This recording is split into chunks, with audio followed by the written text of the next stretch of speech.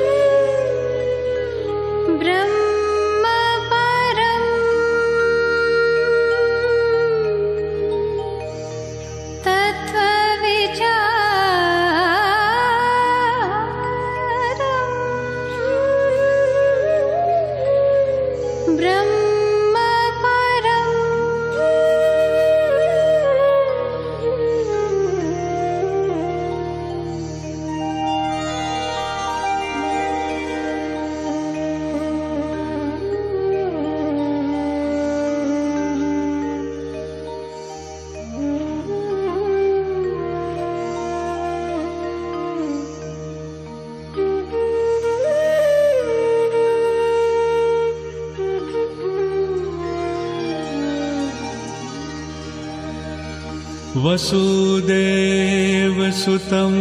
देवम्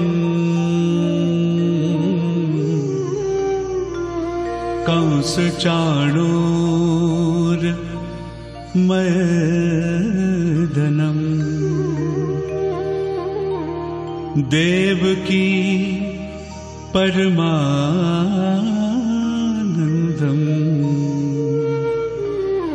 कृष्णं वन्दे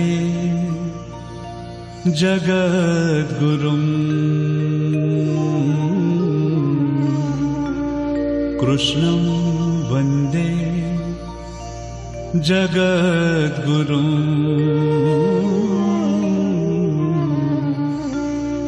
कृष्णं वन्दे जगद्गुरुम्